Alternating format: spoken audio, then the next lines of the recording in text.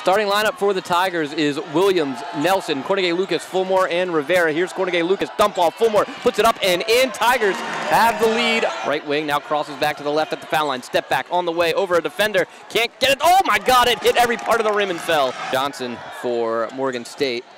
Rivera from mid-range is foul, banks it in.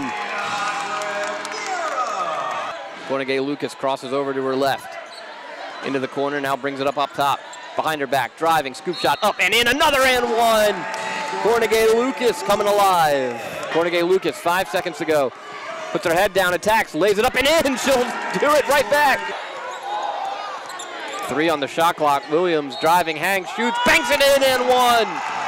With one second to go on the shot clock. Throws inside. Shepard driving, got stripped. Anumba comes away with it. Anumba off and running. Anumba one-on-one with Henson, lays it up, lays it in. Rivera wanted it right back, eight on the shot clock. Williams, elbow to her left at the foul line. Kick out, Johnston, corner three on the way, bang! This has allowed them to get the shots that they want. Williams drives, hangs, shoots, too strong. Fulmore, the rebound, puts it up and in. Nelson driving, puts it up off the glass and gets it to go. Thank you, Morgan. And yeah, you hear it, we've been talking about it. They, we need to see the effort here from Towson, the one. As Williams, nice spin move, hangs, shoots, gets it to fall. Over Morgan State. Here's Johnson into the corner. Evans along the baseline, shoots, got it.